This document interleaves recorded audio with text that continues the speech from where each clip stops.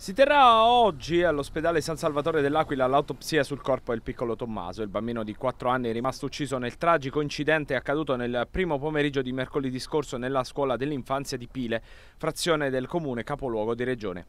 Tommaso è investito da una Passat con a bordo un bambino di 12 anni parcheggiata da una mamma di 38 di origini bulgare scese per riprendere i due gemellini, partita in discesa per cause in corso di accertamento che ha colpito a morte Tommaso ferendo altri 5 piccoli.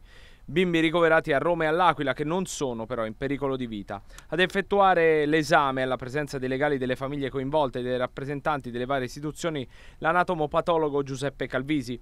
Ieri era stato fatto un tentativo per evitare l'esame autoptico. Secondo quanto si è appreso dopo l'autopsia la salma del piccolo sarà riconsegnata alla famiglia che poi fisserà la data dei funerali. Intanto proseguono a ritmo serrato le indagini condotte dalla squadra mobile coordinate dalla Procura della Repubblica dell'Aquila, sia in attesa della fissazione dell'interrogatorio della giovane mamma indagata per omicidio stradale. Stamattina è stata affidata la perizia sull'automobile tesa a capire meglio la dinamica e le cause e in particolare come la Passat si sia sfrenata. Un guasto, negligenza della donna oppure responsabilità del figlio dodicenne.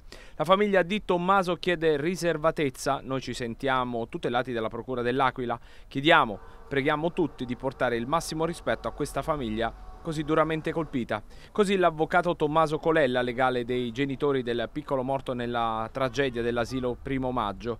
L'avvocato prosegue spiegando che la famiglia non vuole rapporti con i mezzi di comunicazione, non vogliono essere ripresi. Capiamo, ha continuato Colella, che tutti lavorano, ma cerchiamo di preservare la loro vita.